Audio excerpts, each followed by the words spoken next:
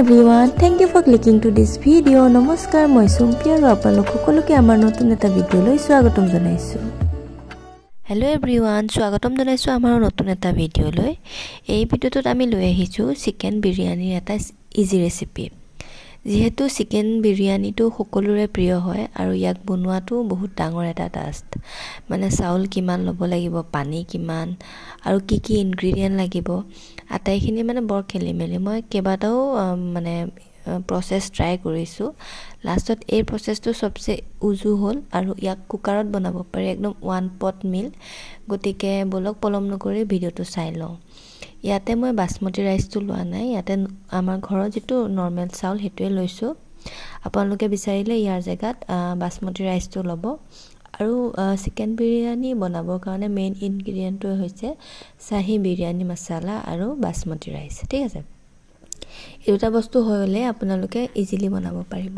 এতিয়া ইয়াতে পদিনা ধনিয়া গোটা মচলা যিকেইটা লাগে সেইকেইটা আৰু ইফালে চাউলটো মই ধুই ৰাখিছোঁ লগতে পিঁয়াজ জলকীয়া আৰু আদা নহৰু।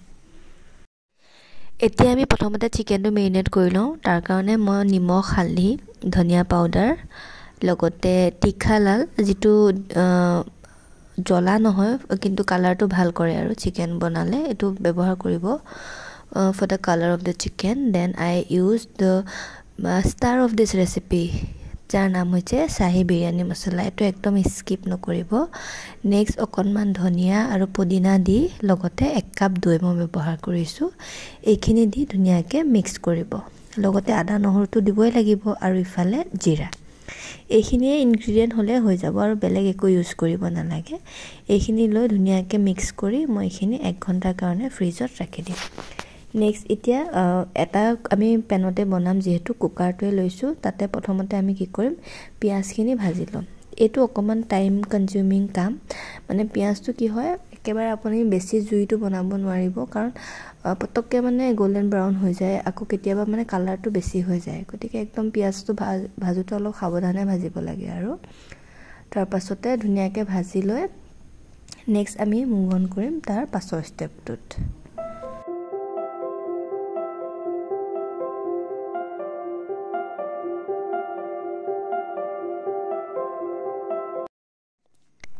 এই যে চিকেন বিৰিয়ানীত এটা আন্দা দিয়ে আপোনালোকে খাই ভাল পায়নে বাৰু?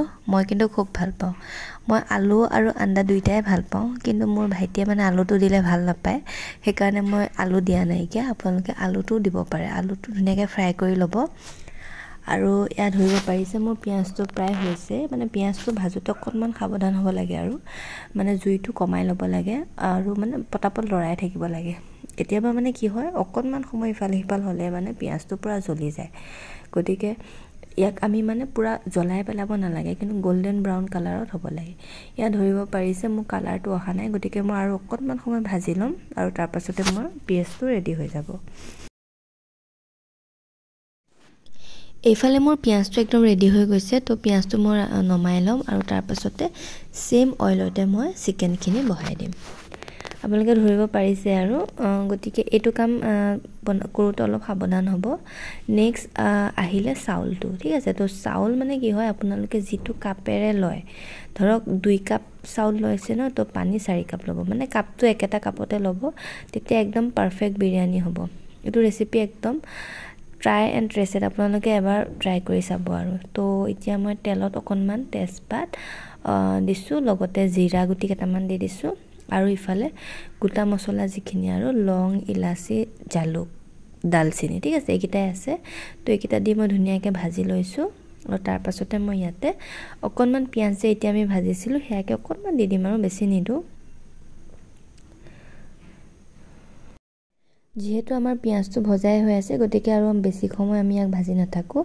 লগতে যিটো চিকেন আমি মেৰিনেট কৰি ৰাখিছিলোঁ তো চিকেনখিনি আমি দি দিম।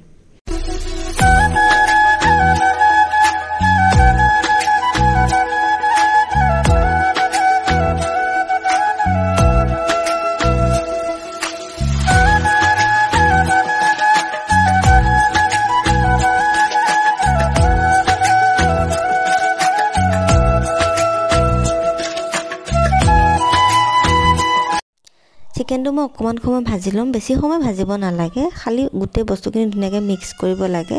আৰু এইটো টাইমতে আপোনালোকে যিমান নিমখ লাগে নিমখটো দি দিব। কাৰণ পিছত যেতিয়া আমি চাউলটো এড কৰিমগৈ তাৰ মানে জোখটো কেতিয়াবা কমি যায় ন নিমখটো। গতিকে জোখ কৰি এতিয়াই দি দিব। মই ক্লিপটোত এবাৰ দেখুৱাইছোঁ কিন্তু মই নিমখ বহুতখিনি দিছোঁ। তাৰপিছতে মোৰ যিহেতু চাউলটো বেছি আছে গতিকে এটা কুকাৰত নহ'ব ভাবি পেলাই মই দুটা কুকাৰ লৈছোঁ। আৰু ইয়াৰে যিটো চিকেন আছে তাৰে আধা মই আনটো কুকাৰত দি দিছোঁ। এতিয়া আহি গ'ল লেয়াৰিঙৰ বাৰী। প্ৰথমতে চাউলটো দিব লাগিব। চাউলটো দি আপোনালোকে ধুনীয়াকৈ গোটেই চিকেনটো মানে ঢাক খুৱাই দিব আৰু। তাৰপিছত তাৰ ওপৰতে অকণমান বিৰিয়ানী মচলা দিব। তাৰপাছতে অকণমান পদিনা আৰু ধনিয়া যিটো আমি কাটি ৰাখিছিলোঁ সেইখিনি দি দিব। আৰু ইয়াতে মোৰ দুটা বস্তু স্কিপ হৈছে সেই দুটা আপোনালোকে দিব। মানে কি এক চামুচ ঘি দি দিব ইয়াতে আৰু তাৰপাছতে গাখীৰত অকণমান চেফ্ৰন মিক্স কৰি পেলাই ইয়াতে দি দিব। এই দুটা ইম্পৰ্টেণ্ট হয় মানে তেতিয়াহে আচল বিৰিয়ানী সোৱাদটো আহে। মোৰ লগত নাছিলে মই সেইকাৰণে দিয়া নাই। আৰু ইফালে আমাৰ যিটো পিঁয়াজ আমি কাটি মানে ধুই চৰি পিঁয়াজটো যিটো আমি মানে ফ্ৰাই কৰি ৰাখিছিলোঁ সেই পিঁয়াজটো দি দিছোঁ। তো আকৌ ওপৰত চাউলখিনি দি দিব। তো ছেম প্ৰচেছতে লেয়াৰিংটো কৰিব। চাউল দিব তাৰপিছত আকৌ সেই বিৰিয়ানী মচলা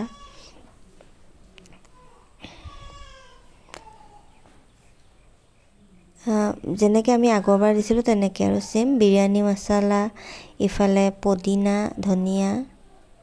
আৰু ইফালে পিঁয়াজ আৰু লগতে অকণমান ঘি আৰু চেফ্ৰন মিল্ক। এইকেইটা বস্তু আপোনালোকে দি দিব।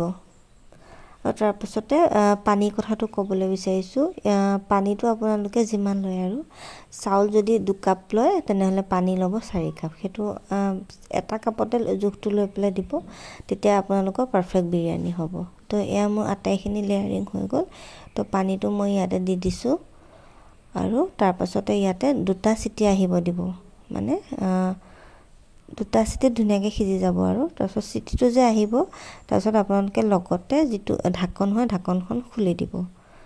আৰু লগতে কণীকেইটা মই দিব পাহৰি থাকিলোঁ মানে যেতিয়া চিকেন বনাব তেতিয়া কণীকেইটা দিব লাগিছিলে কিন্তু মই পাহৰা গ'ল। তো মই দুই নম্বৰ কুকাৰটোতে দি দিছোঁ আৰু। তো এয়া আমাৰ বিৰিয়ানী একদম ৰেডি হৈ গ'ল। গোন্ধটো একদম ৰেষ্টুৰেণ্টত অহা নিচিনা আহি গৈছে। খায়ো বহুত বেছি ভাল লাগিলে আমাৰ সকলোৱে খাই ভাল পালে। তো এয়া হৈ গ'ল আমাৰ বিৰিয়ানী। আপোনালোকে এবাৰ ট্ৰাই কৰি চাব আৰু কেনে পায় মোক কমেণ্ট ছেকশ্যনত জনাবলৈ নাপাহৰিব।